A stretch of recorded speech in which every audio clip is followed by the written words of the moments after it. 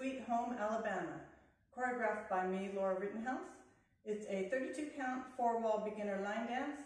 The music is Sweet Home Alabama by Lynyrd Skynyrd. I'm gonna do a walkthrough. I'm gonna show you first the steps, then the counts, and there's no tags or restarts. It's a pretty easy beginner dance. All right, you start with a couple of shuffles to turn halfway around. So you're doing the first shuffle right over left. As you turn one quarter, second shuffle left over right. As you turn one quarter, and then you finish that sequence with the side step to the right and drag, left and drag. You repeat the whole sequence to get back to 12 o'clock. So that's right shuffle turning, left shuffle turning, drag right and left.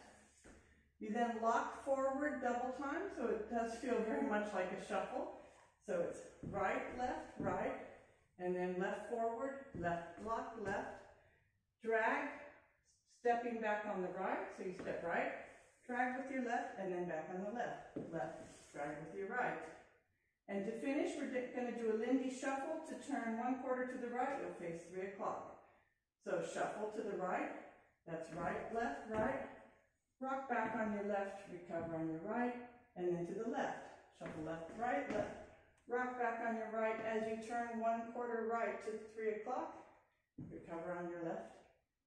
And that's the end of your wall and your dance. With the counts, starting with this circle shuffle. One and two, three and four, five, six, seven, eight. One and two, three and four, five, six, seven, eight. Lock and drag back. One and two, three and four, five, six, seven, eight. Lindy to turn. One and two, three, four, five and six. Turn seven, eight. That's it. That's the end of your dance. It's pretty simple, and I hope you enjoy